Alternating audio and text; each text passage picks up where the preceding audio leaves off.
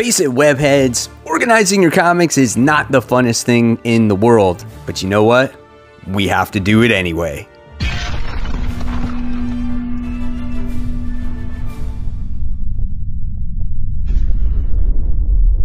All my webheads out there, welcome back to Comic Book Corner 2.0. And fans, I am your host, Mike Spider Slayer, always helping you make decisions on what comic books to buy. And today, guys, we're doing a little bit of a different type of video.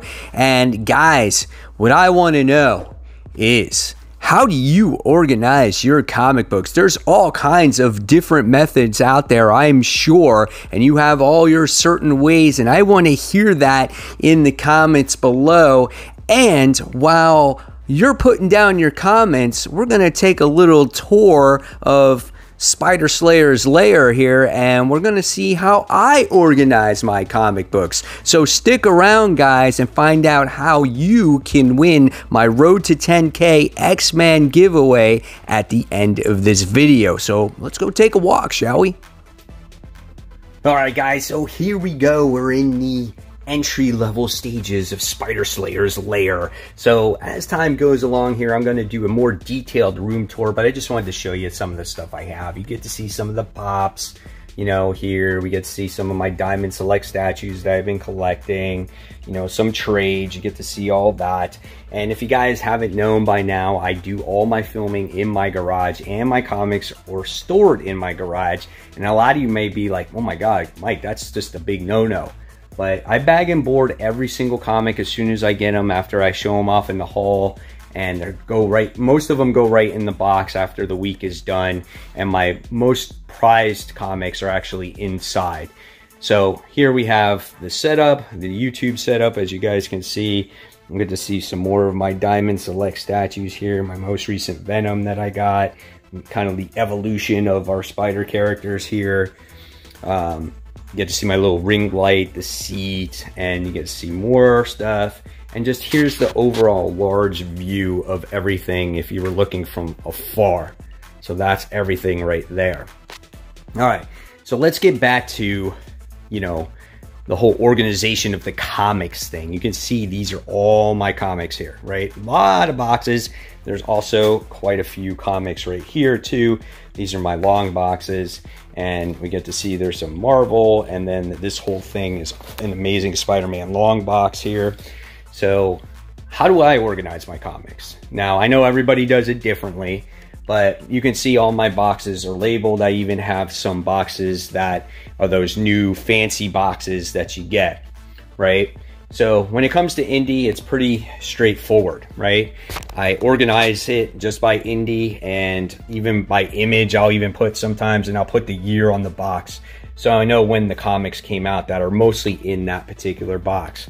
As you can see, I still have some organization to do. When it comes to the independent comics, most of the DC are, are put away and almost all my Marvel comics are put away. I just have a few of the classics that I got to put away here. So here's how we organize it, okay? We can get to see DC Comics 2019. Now, unfortunately for me, I tend to overfill, overfill my boxes a little bit too much, which I shouldn't do, and I'm to try to eliminate that.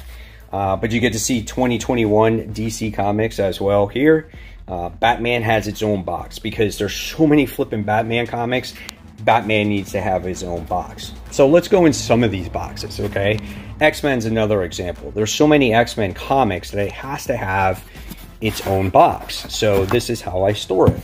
So we get to see all the X-Men comics. Now, I've been trying to put events together, if that makes sense, even if they're out of order from the collection of the series, but this is what I did with Ten of Swords, at least when it comes to X-Men books. So you get to see all the the uh, Ten of Swords in here, and you get to see how many of those books there were. I mean, look at that. That is a big stack. So we get to see all that. And then you got Cable, Children of the Atom, Excalibur, Hellion. So you get to see that's how I do it. I put my books in alphabetical order. That's how I do most of the collections. All right, here we get to see another X-Men box. I had to label it because it was Guardians of Gal Galaxy Lame, I know, but here's the example of kind of overfilling my box. You can't really see the first few issues in there. That's a no-no. I wouldn't suggest that. Same thing here with X Men Gold. That thing is chock full, but I don't think there's a single issue in there that's worth a value. It's just kind of reader copies and and stuff like that, right? So we get to see here. I have boxes that say classics. So classic comics, classic comics. I have three boxes full of those, and we get to see when you open it up. I have some of these, you know, nostalgia comics, West Coast Avengers. Um, here we get to see some Superman. We get some uh, Daredevil, Black with Black Widow, um, Incredible Hulk, Red Sonja, Conan, Invincible Iron Man. Got some Thor in here, Infinity Gauntlet, the New Mutants. So we have, you know, Wonder Woman, Georges Perez. So Strange Tales Warlock. So we got a little bit of everything in there when you get to see that. And then when it comes to like my Marvel books, right? When it comes to the normal everyday stuff, this is what I do here, okay? So I, I, collect a bunch of different series and I just put them in alphabetical order. Unfortunately, I don't have dividers, right? So that kind of sucks, but that would take so much work to do that. That's ultra organized, unorgan, ultra organized. So we get to see that I do that there. And once a box fills up, then I just continue doing the same thing with the next box. I don't kind of rearrange the series to fit all one box, if that makes sense. I just, I'm like, okay, if a box is full, I'll start a new one and I'll put that one in alphabetical order. Um, here we have Absolute Carnage. So, Absolute Carnage box has all spider related stories in them. So as you get to see, we have uh, Black Cat in here, right? Nice cover here by Artgerm, one of the best. And then you get to see all the Black Cat. Then Spider-Man, the Black Cat Strikes, the Amazing Mary Jane, uh, the entire Venom run is all in here. This probably takes up most of the box as you get to see. So we have that whole run in here, right? Now, any of the high dollar value comics I have, like Chew issue one, Amazing Spider Man issue 300, um, Saga issue one, uh, Ultimate Fallout, first appearance of Miles, uh, Miles Morales Spider Man, I have in a separate little box in my house. And then, obviously, when it comes here to the Amazing Spider Man, I have Spider Man, Nick Spencer's entire run in this box as of right now. So we get to see I have all these books here right? So that's his entire run there.